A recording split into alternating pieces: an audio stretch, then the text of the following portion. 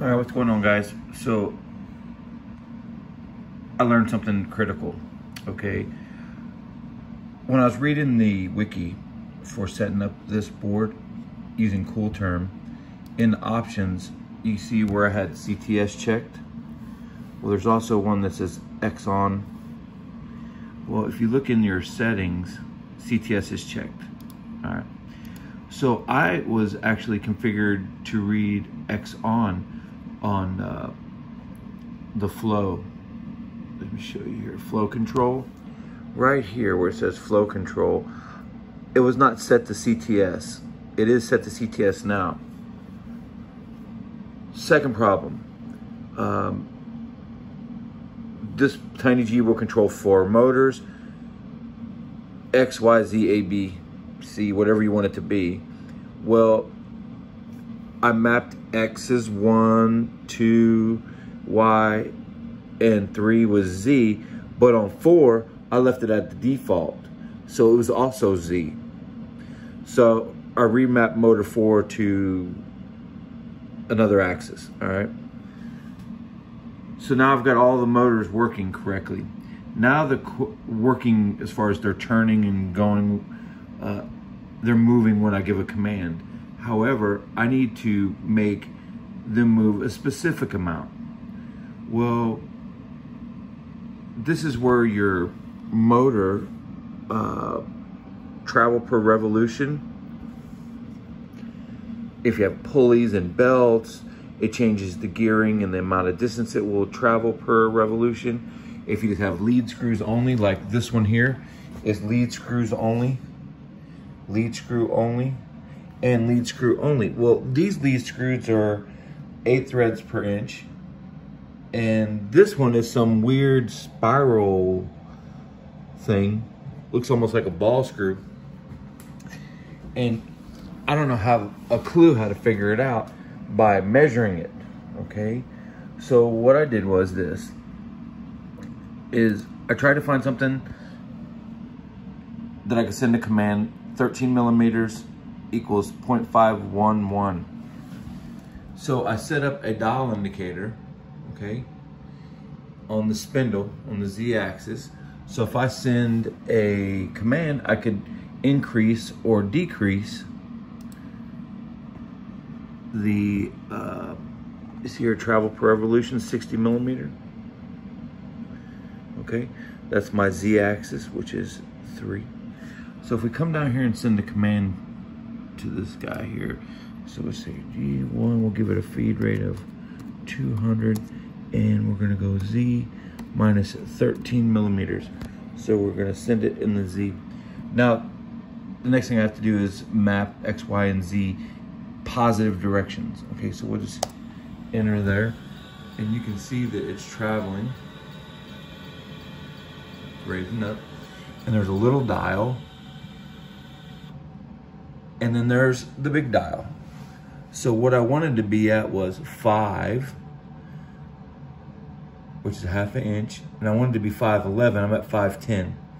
Now, I'm off a little bit here, so I can change and add it like 60 millimeter point one, 60 millimeter point two, whatever I need to do to get it to be exact. But, you know, my uh, dial indicator really isn't the most accurate tool ever, okay?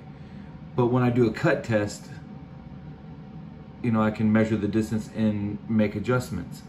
So that's good news. I've got my z-axis really close.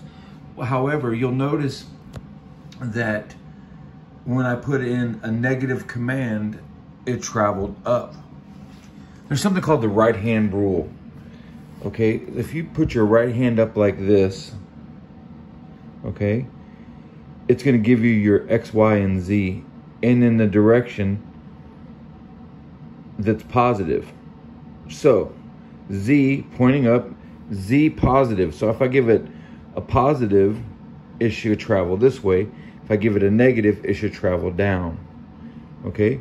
On the X axis, okay, which is this axis, if I give a positive number, it should go that way. A negative number should go that way. Okay? And my Y, okay, it should go positive that way and negative that way. So if I would give it a positive command, it is going this way on my y-axis and I give a negative, it goes that way. So that one's right. However, this one's backwards and this one's backwards. So all I have to do is change the polarity of that motor. Let me show you right here in the motor setups. See where it says M1 polarity? It's in reverse right now. I just need to make it normal. Motor 2 polarity. I need to make it zero, normal. So um, that was an easy fix there. Then I need to set up and measure the actual distances for, I'll use my dial indicator so that, you know, I get a half inch with 13 millimeters and close to a half inch for 13 millimeters in both directions. Get everything set up that way. And then we will be set to start doing testing on um, fine tuning. Then will be limit switches. Uh, this is an old engraving machine. It uses this motor and this pulley to pick up the uh, RPMs. I think this is like eight or 9,000 RPMs. But with this pulley, it makes it a lot faster. Uses a little belt. It turns the spindle and cutters drop in. Let's see if I got a cutter I can show you. Which I'm gonna have to change this whole head. Uh, oh, come on. There we go. So these cutters, they're carbide. They drop in and there's diamond drags. Again, this was for doing routing and engraving. So, you know, you can make some signs and stuff like this, but I want to be able to cut out carbon fiber plate. So I don't know a way that I can get, say like a one or two millimeter carbide single or dual flute cutter that will thread in here, all right? Um, but I do have options. I could pull this all out, use these four bolt holes to make a new Z-axis shaft and do something. Yeah, it's just a little desktop CNC machine that's built in the 80s that's gonna get redone. My limit switches, they are in place. Um, however, with the limit switches, let's see, there's another limit switch right there and the other limit switch is over here. I guess they need shielded cabling to do limit switches. And uh, I guess you can home your machine using soft limits.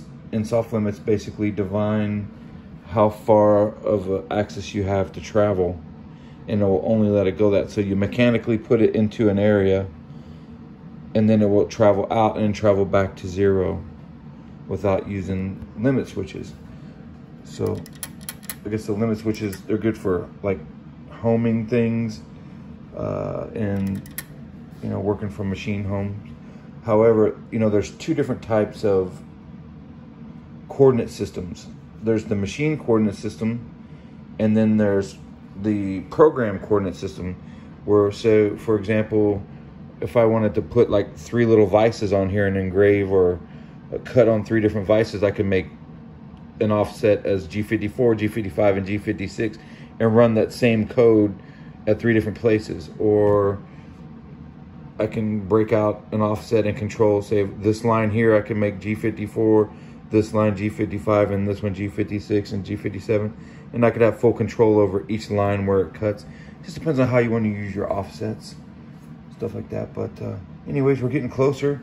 And my whole holdup so far was the stupid CTS, the flow control. That flow control setting, I did set it right in CoolTerm, which is this terminal that lets you set up your board and send uh, uh, some G-code out to test and things like that. I'm sure you could send a whole bunch of G-code, but you know, there's no good interface. There's no GUI for like jogging or anything like that. It's just a terminal, mainly for programming and testing as far as I'm concerned. But the flow control sends, you know, data back and forth to the board. Between that board and your, you know, your uh, motors and stuff. So it's got to have information going the right way, back and forth. But I didn't have it set that way, and that was giving me a lot of problem. So we are definitely making progress, and thank you, Mr. McGrath, for pointing it out. I did this a long time ago with uh, an Ox CNC, and it was a lot easier to do because maybe because I was younger. I don't know, but uh, this one's really been kind of frustrating for me. I understand machining and I understand G codes and I understand offsets and you know once a machine's working, I can go through and make programs and edit them and do whatever I want to do by hand.